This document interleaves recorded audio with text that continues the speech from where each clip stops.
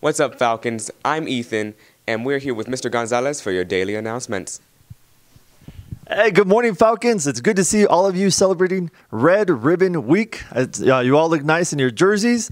Uh, thank you for that. I look forward to all the dress days. Seeing you guys dress up always brings a smile to all of our faces. Uh, we have voting going on October 24th through November 4th, 8 to 5 p.m. Again, that's early voting going on.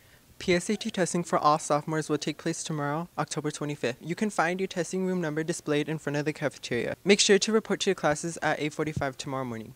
What's up, Falcons? This week is Red Ribbon Week. Thank you all for wearing your jersey today. Tomorrow will be Hawaiian Day.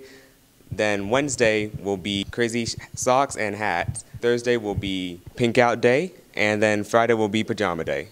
There will be a Falcon Cafe from 7.30 through 8.30 at the gym foyer. Key Club will be selling hot drinks and NHS will be selling baked goods. For an addition of 50 cents, you can have your order delivered by texting them your location.